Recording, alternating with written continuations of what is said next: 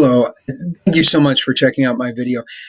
As I was editing this video to show you how you could receive pretty much any radio frequency through your computer and listen in, I realized I didn't mention this. So I wanted to mention it first for those of you that uh, maybe don't want to spend the money which it isn't very much, but don't want to spend the money on on the following video on the awesome USB thing. You can just plug into your computer and be able to listen to radio frequencies. There is a couple uh, things you can do through the internet. Uh, the following video shows you how to get it without the internet, but this you could listen through the internet. Sometimes people provide certain radio frequencies, uh, they're called feeds, that you can listen to. So, a really good resource for that is broadcastify.com, and I'll put a link below. Uh, but click on listen and then what you can do very much like I'll show you in, in the, the coming video on radioreference.com. For Broadcastify, you can choose your area, or maybe you want to listen to another area. Let's say I wanted to listen to where I am. I'm in Kane County, Illinois. Maybe I want to listen to the police. Well, what I can do is I can scroll down now and I can press play, and it will play if someone's sharing that that feed. The thing is sometimes you'll live in an area where no one's sharing the feed and you can't listen. If you don't have a computer you can also go to at least the google play store i'm sure i'm sure there's an apple version as well and they have the scanner radio. And what it does is it uses Broadcastify, and you can install that on your phone and receive any of the, the shared feeds that are on Broadcastify. So this could be a really nice thing to, to do in the meantime while you're waiting for your USB dongle to come in that I'll show in the following video. So check that out and please continue to watch the upcoming video because I think it's some pretty cool stuff. I think you'll like it a lot. Thanks. Hello. Today I wanted to show you a really, really cool thing that you can buy and connect to your computer. And you can listen to a lot of different radio stations. I don't want to say every radio station, but a uh, lot of different radio frequencies. So let me show you how it works first. Um, I'm just going to show you really quickly. I have something connected to my computer that I'm going to show you in a little bit. And all I have to do is run this program called SDR Sharp. And when I turn it on,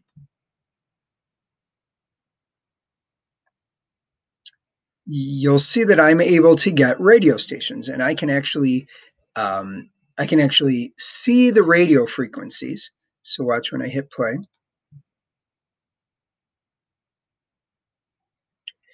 And if I click, hopefully you can still hear me. If I click to another spot, um, obviously I'm not receiving it. Let me turn this down really quickly. all right.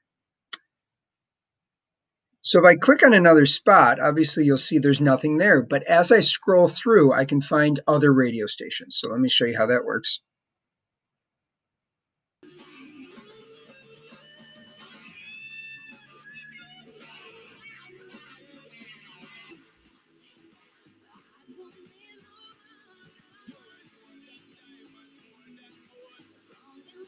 All right, now I'm in my basement right now, so I don't have the best reception. Uh, my antenna is just sitting on my desk right now, so I am not getting the best reception. But you can see I can pull in some radios, uh, radio stations there. But the cool thing is, it doesn't have to be just normal radio stations. So let me show you this. There's a website called Radio Reference, and Radio Reference, what it has is it has a lot it might have all, but it has a lot of the registered radio frequencies in the United States. So what we can do is we can go over here. This is radioreference.com. We go to databases, frequency database. Now, all of this is legal. You can do this. We're not broadcasting. So you can listen all you want and you don't need a license. If you were to broadcast, say you were a ham radio operator like me and you wanted to send uh, radio frequencies out, you can't do that without a license uh, on most frequencies. But so right here, we've got radioreference.com. I went to databases, frequency database. And I'm just going to go to uh, where I am. I'm in Illinois. You can choose the county that you're in. And then what you can do is you can scroll through and you can find all the frequencies. Say I wanted to listen to the Kane County Sheriff uh, right here. Kane County Sheriff's Department at 159.15. So I could just go back here. I could go to 159. I'm sure there's a faster way to enter this. Uh, 0.15. And if I hit play, if my antenna was in a good position, I'd be able to hear it. Now, I don't know if I'll be able to hear it. We'll see. So right now, either they're not broadcasting, which definitely happens. It's a police station that, you know, they're not always going to be talking. Excuse me. Or I have a bad reception. So I'm not really sure which one that is, but I can guarantee you it would definitely work. So I could listen to the police. I could listen to fire. We go back to this. Um, there's information about Office of Emergency Management. Uh, if there was some sort of emergency going on or a weather spotter uh, meeting, anything like that, I could listen in on that. I can listen in on the the dispatch to the police. Uh, this would be for multiple towns. This is this is specific to around where I live. However, I could also listen in on a lot of other things. Now, I'll pull that up in a minute. Something to pay attention to, though, is this program, SDR Sharp, is going to work very, very well with FM stations. So where it says FM, um, that means I'll be able to listen to it. If it says DMR, that means it's a digital mode radio, and I can actually listen in on that. I run SDR Sharp, but then I run another program. That will be for another video, but I can definitely do that. You can even run listen to trunked radio for those of you that know what that is a lot of police stations have moved to trunked radio and you'll be able to listen to that but that does get a little bit more complicated if you're interested in this i wanted to show you what you would need to get uh, to be able to do this and i think it's pretty cool you can also listen to shortwave radio stations so stations from around the world you will benefit from a longer antenna so what I would do is this. This is the one I bought. I did buy another one. This one works really, really well. I'm really, I, I'm excited about this one. The biggest reason why I'm excited about this is, um, well, to describe it first, this I believe these were sold in Europe originally, uh, and you could you could you could watch TV on your computer. Now, in the United States, uh, that doesn't work because the TV stations are broadcast on different frequencies. Now, this is what I was told. Maybe I'm incorrect on that. However, I know for a fact that this works for listening to the radio. Now, this is called a software defined radio. That's what this SDR stands for software defined radio. And what it can do is it can listen in um, to the radio stations I was showing you, as well as, and this is why I like this one, as well as high frequencies. So what we were just listening to was called VHF, very high frequency, uh, and UHF, ultra high frequency. I didn't move up there yet, but those are the normal sort of FM local stations. But to listen to stations from around the world, then you can do the HF. This is why I like this one a lot. So you would never have to really open it up if you're just a normal user. It does describe some of the things if if you needed it, but for the most part, all you need to know is this plugs into the USB, and then this end plugs into an antenna, which I'll show you in a minute. $23 and this would be shipped to you i believe it is prime if i was logged in i think it's prime and it would send to you and then you would be able to listen to the radio. Now, this would be without the use of internet. Once it's set up, it just works.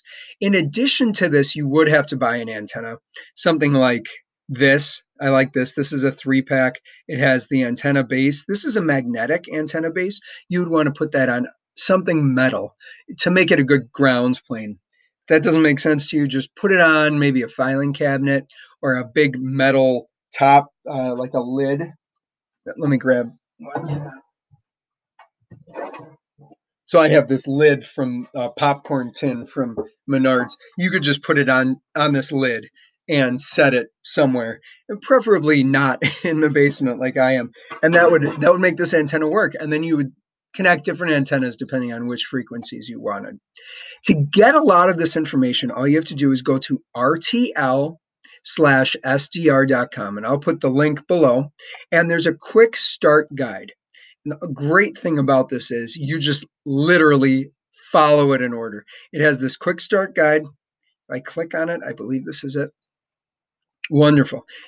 It's the same page. All right. So you literally just go step by step in order and you go through all the settings, and by the end, it'll work. And it's really that easy. Then you can start playing around with different things. There are different articles on here to figure out more information. For instance, if you are interested in the digital mode radio, you can even receive uh, think you can listen to the International Space Station. You can listen to, if you go back to here, if I go back to the main database, instead of choosing states and counties, you can actually look at nationwide frequencies. So let's look at, uh, I guess, there we go, nationwide frequencies. And there's a bunch of different nationwide frequency information that you can get if you wanted to listen to the railroads. Say you really, really like the railroads, I'll open that up. You want to listen to uh, the family radio. Uh, that would be those little two-way radios that people buy. supposed to go 22, 28 miles, which they don't. Uh, they do if you're going mountaintop to mountaintop. But you can listen in on those. This will give you the frequencies that you need to listen to to listen to the railroad. And you can listen. That's totally fine. You can listen to Civil Air Patrol, which is the civilian side of the United States Air Force, as long as they're not encrypting it. Sometimes they'll encrypt it, but most of the time you're able to listen to it. Encryption means basically you need eh, almost like a password to be able to listen to it. It's called an encryption key. But you can listen to the uh, National Weather Service. So if I click on that, you'll see these weather stations. I know this one is close to me. Uh, let me make sure that's correct. Yeah, one six. That's interesting. All right, so let me see, 162.55. So if I go back here and I go to 162.55 and I hit play. All right, so maybe. 70%. For Saturday night, mostly cloudy. Chance of showers in the evening, then a chance of light rain after midnight. All right, so obviously this frequency was correct. This one did not seem to be. I'm not sure why that is. I guess five five. Oh, that would be channel six. So I'm out of out of range of that. And you did hear it was a bad reception. That doesn't happen if you're not in your basement. Okay, if you're upstairs, uh, especially in in a a wood frame house. I'm in a brick house, so it does block some of those frequencies. But if I went outside with my computer, it would be perfect. So this is an awesome opportunity very affordably to get in to be able to listen to a lot of different radio stations. You can also listen to HF. Um, if you have any questions, feel free to comment below, subscribe if you liked my video, and give it a thumbs up. Share it, help me get the word out. I'd love to be able to uh, share my knowledge with a lot of other people. In the future, I'm going to show you some of my my uh, amateur radio equipment and how I'm able to actually communicate around the world just from my house. So stay tuned, check out my videos, and have a wonderful day. Thank you.